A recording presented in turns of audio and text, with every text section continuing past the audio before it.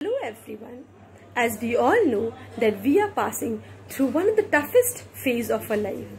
So, it is extremely important to stay positive and fight this together.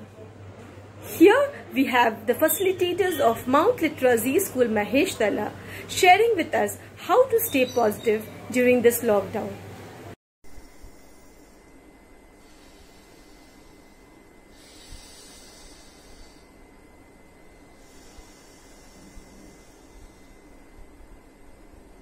Hello everyone.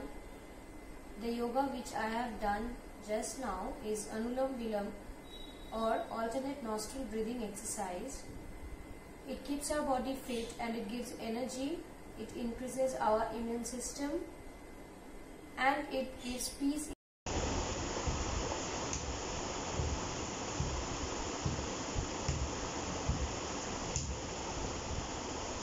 Dance is not only a wonderful way to express yourself, but also a fantastic spare time activity that you can enjoy.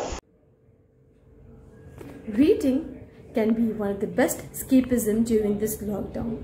There had been time when we wanted to read something so desperately, but we couldn't. So this is the right time. Just grab a book and start reading. As it is rightly quoted, reading gives us a place to go when we have to stay where we are.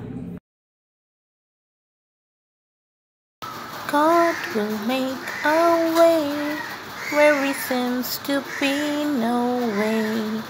He works in ways we cannot see. He will make a way for me. He will be my guide. Hold me closely to his side.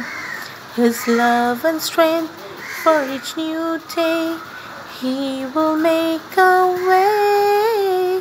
God will make a way. Spending time in nature is healing energy.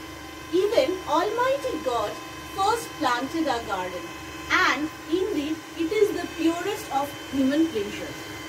এই মুহূর্তে আমরা সকলেই গৃহবন্ধু কিন্তু মনের মাঝে আসা একটি। আমার মুক্তি আলোয়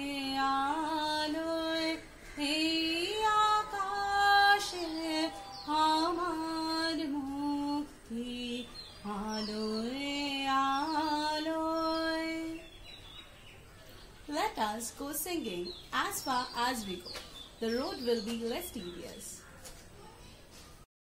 Humans are social animals, so it is easier to lose one's mind while staying at home, away from the entire world. The fear of an outbreak, coupled with a quarantine, could get under the skin and make you feel more lonely and depressed. As the world is struggling with a deadly pandemic, it might not seem the best time to talk about being positive. Rather, it is the best time to accomplish your hobbies and interests by staying at home and doing something positive.